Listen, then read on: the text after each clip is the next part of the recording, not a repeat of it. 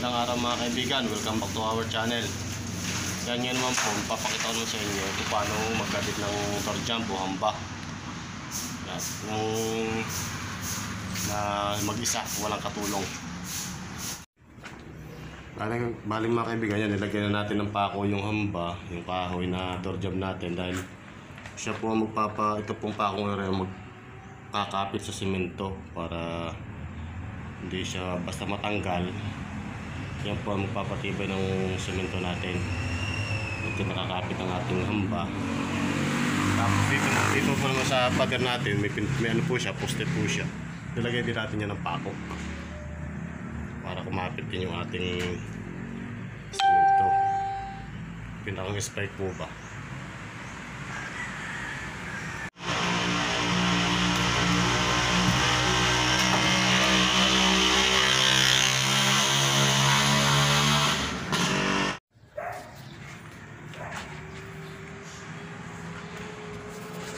Yan mga kaibigan, binatakan natin ng tansi. Ito. Itong guhit natin ng tansing ito ay tumaas tayo ng 90 cm galing sa ating finish floor line.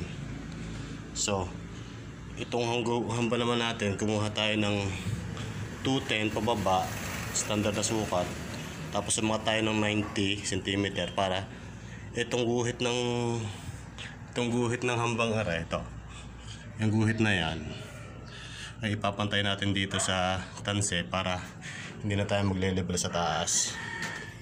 Kaya ganyan ang pagka ano pag hindi tayo magle-level sa taas. Tapos ang kabit ng ating hamba mga kaibigan ay nakasentro dito sa sa finish dito sa hollow blocks nakasentro siya. Magkabila po siya ay may nosing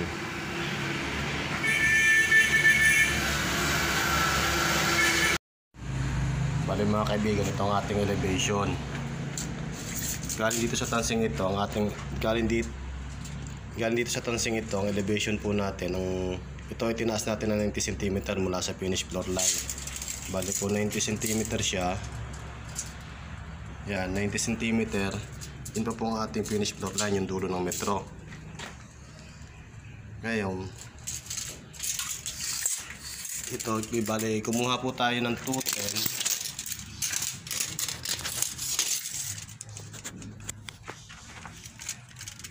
Kumuha po tayo ng 210, bali po ito yung ating 210. Pero yung ating 210 cm. Yan po ang ating finish floor line siya ng tiles. Nagdagtas tayo ng 90, 90 cm galing doon sa ating 210.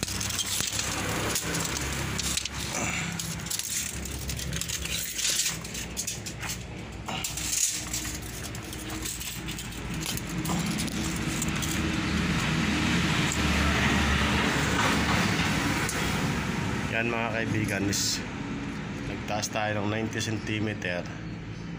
Yan po ang galing sa ating floor line, finish floor line. Tapos natin ng 90 tapos dun po tayo kumuha ng level para sa batak ng ating taas ng ating header. So, ngayon, ipapantay po natin itong tansing ito ito pong tansing ito, ipapantay natin dito sa guhit natin na 90. Magkabila. Yan, magkabila po yan. Yan po ay ibig sabihin po niyan. Pag ito pumantay na, ang atin pong ang ating header ng atong, itong header nitong, itong header ng ito ay standard. Tama po na po siya sa sukat na 210. Dahil ang pinakit po natin ay malimang laging standard na sukat. 210 po to 210 centimeters ang taas ng ating hamba. At saka yung panakip naman natin is standard na 210 din ang taas ang nabibili.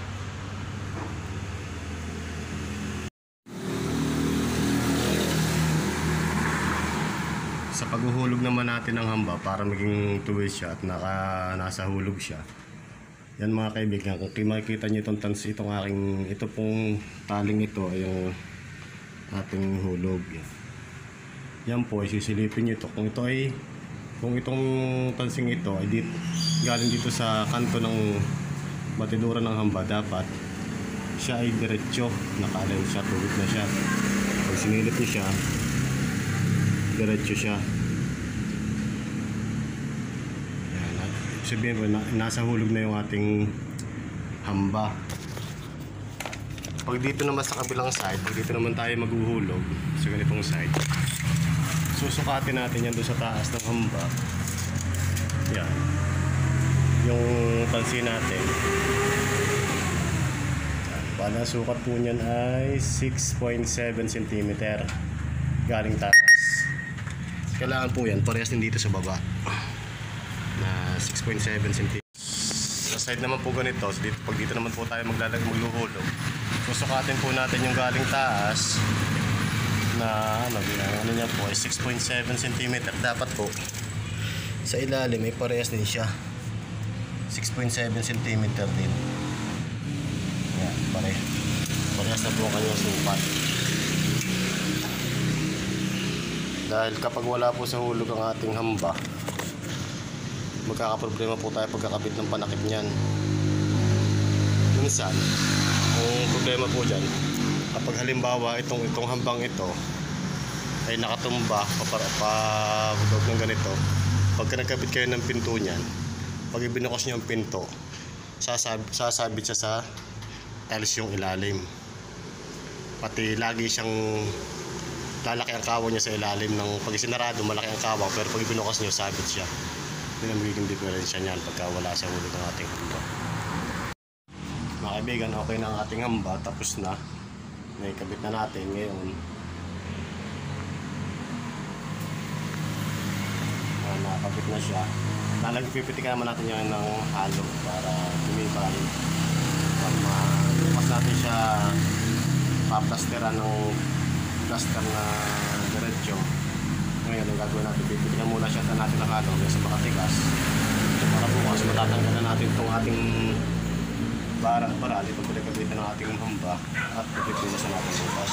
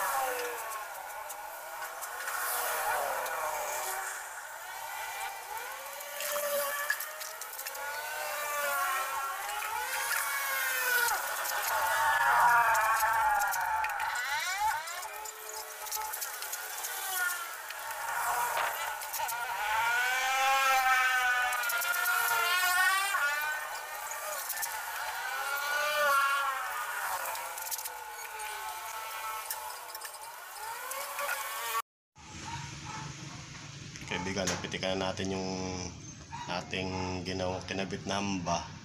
Yan. Yan ay patitigasin muna natin para matanggal natin yung pinakaroon na ito. Pinakapitan ng ating hamba para bukas, pag matigas na siya, pwede nating pinisin ng ayos yung pinakang kantuan ng hamba.